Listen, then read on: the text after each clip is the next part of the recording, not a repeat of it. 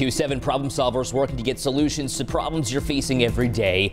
That includes your bumpy morning commute. We hear so often about potholes all around western New York, which is why 7 News reporter Taylor Epps is checking out the worst roads in western New York, working to get them fixed.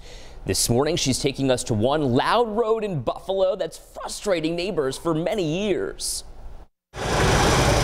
Living on Fougeron Street can get pretty loud. Just ask Maggie Clark. She's lived here for 30 years. I want them to come over here and help us because we need help. They manufacture Milk-Bone and Smucker's products right across the street. And when trucks go by, they hit these potholes. You see, when they hit those holes, you, see, you hear that sound and stuff when they hit the holes and stuff like that. Cause your house to shake and everything. She tells me it's been an issue for eight years now. I have pictures on the wall in the house.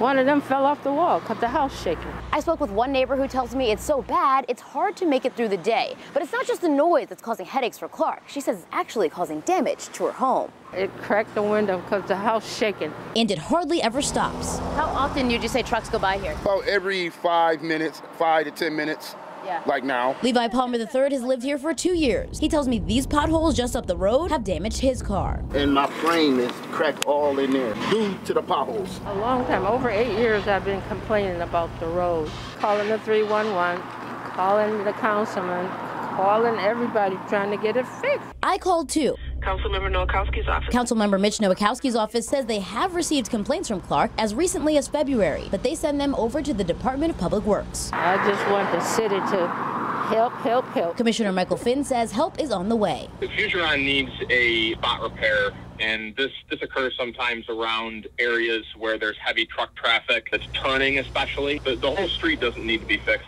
Fix it the right way. Take your time and do it right so it'll last longer. We'll have that scheduled and addressed during this construction season. Before, you know, the, the summer is up at least, they should be able to see something. Yes. Taylor Epps, 7 News, Buffalo.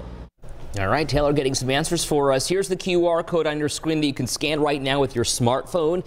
It'll take you to our seven problem solver section where you can fill out a quick form, tell us all about the worst road in your neighborhood.